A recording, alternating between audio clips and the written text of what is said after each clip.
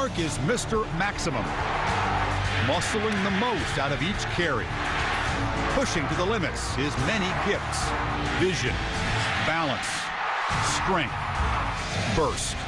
It starts with his stout heart and strong will, a refusal to surrender to a single tackler.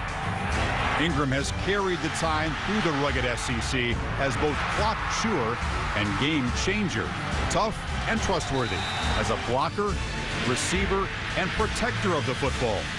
Just a single lost fumble in 429 career touches.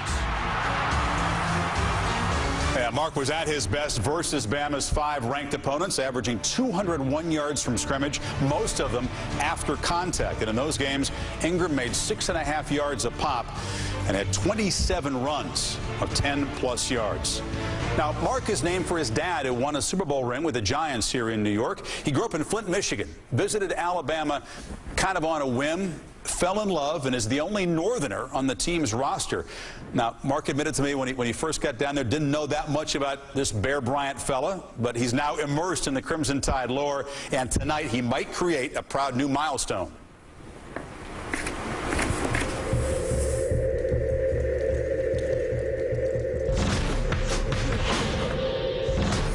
High point of the season for me was the South Carolina game, that final drive where we ran numerous amount of plays out of the Wildcat, and then we finished it off with the toss in the zone. They put the ball in my hands in a clutch situation, and I took advantage of that. Turns it upfield. He buries his head. He fights his way. He's in. I love Family Guy and SpongeBob. I love to watch cartoons. Sometimes I like looking at the stars at night when the stars are. I like to find the Big Dipper. when the ball is snapped and I get the ball, I just see, I just hear noises, shh, pow, pow, you know, and then I just see flashes of different colors of jerseys and I just react to it. People ask me, what did I do or what did I see? I really can't tell you what I see because all I did was react. All the great players that have come through here, all the All-American, and there's not been one Heisman winner Alabama. The fact that I have the opportunity to bring that trophy back to this program and back to the Alabama family and the coaches and the fans, and I'd be really proud to do that for them. From now on, your name will be followed by the words Heisman Trophy winner. And so, here it is. In the closest race ever, the 2009 Heisman Trophy is awarded to Mark Ingram of the University of Alabama.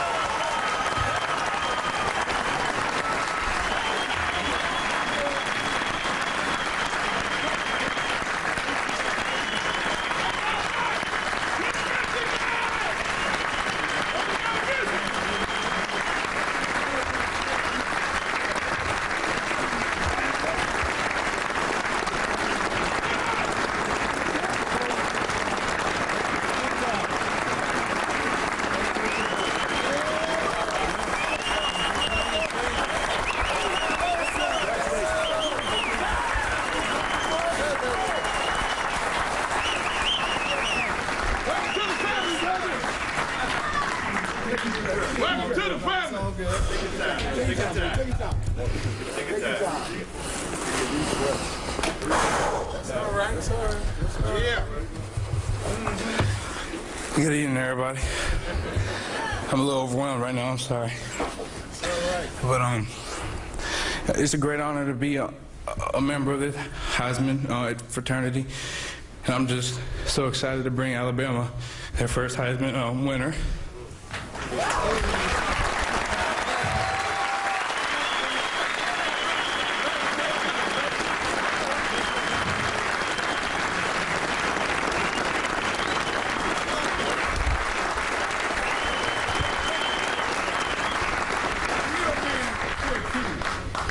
First and foremost, I'd like to thank God.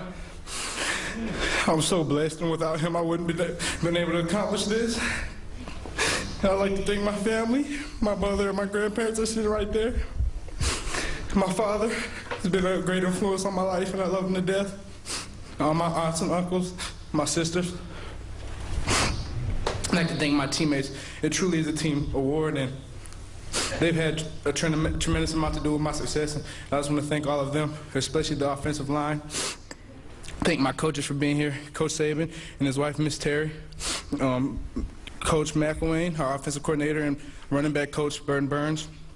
I'd also like to thank our intern, Cedric Irvin, for being there for me, being my eyes on the field. He's been there for me since day one he's been there. I'd also like to thank President Dr. Witt for coming to support me and Athletic Director Mal Moore. I'd like to thank all our SIDs, uh, Jeff Purinton and Josh. They've helped made this a lot easier for me, this whole transition. The strength coach, Coach Cochran and all his staff have had a lot to, to do with my success. And I want to thank the trainers and all the teachers at our school because they're important too. Most, most importantly, all these finalists right here, we were, they were all well deserving. They're all great players, and they've helped their teams out tremendously, and they've had tremendous seasons. But what is most important to me is the relationships I de developed with all of them. You see them all on TV, and it just means a lot to me to bond with them and find out the real pe people that they are. And we've developed relationships in Orlando in these in these past two days that I will cherish for the rest of my life. And I'm really looking forward to being a part of the Heisman family, and just thank you.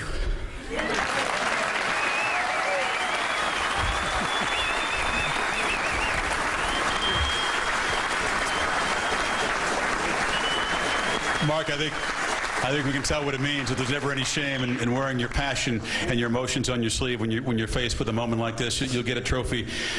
You're just like this, and, and you, you, said what it means. Your portrait's going to be up here forever. So with all the championships and all the All-Americans, Bama now has a Heisman Trophy winner.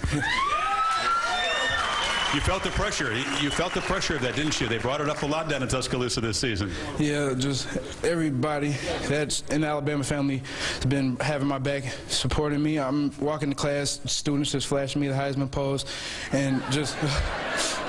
The student, I mean, just people back in Flint supporting me, telling me that they were praying for me, that they supporting me, and I was a winner. No matter what happened, it was just real important to me get the big win, the performance against Florida, and a big win against Auburn, but you didn't play well and you got hurt late. Despite getting that win, were there moments when you thought, I might have blown this, I might have blown my chance?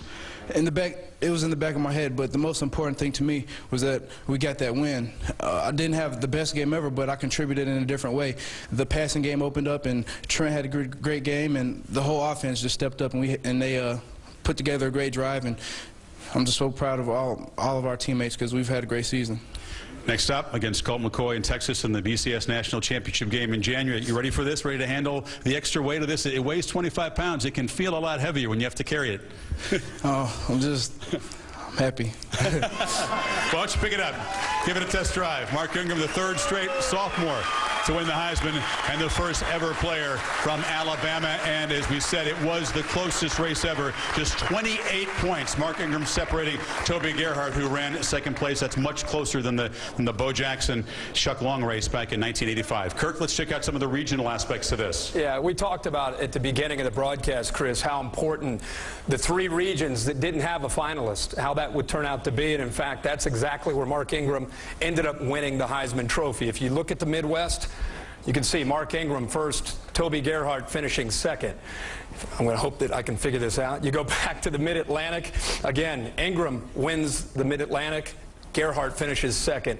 And the same thing can be said for the final region in the Northeast. Mark Ingram making a statement all across the country, and especially turned out in the three regions where we did not have a finalist. Ingram just edging out Toby Gerhart. And as far as the Southwest and the South, this, the votes were split. Suh ended up winning the Southwest, and uh, in the South, uh, Mark, Mark Ingram won there as well. And Ndamukong Suh made a big statement for defensive players. He had the most points ever this year for a fourth place finisher. So there it is, your final tally. Mark Ingram in the closest Heisman vote ever. And I want the fraternity members to welcome in Mark. They enjoyed uh, your emotional speech, and now you get to know these guys and, and be a part of this group forever. Tim Tebow, come on up.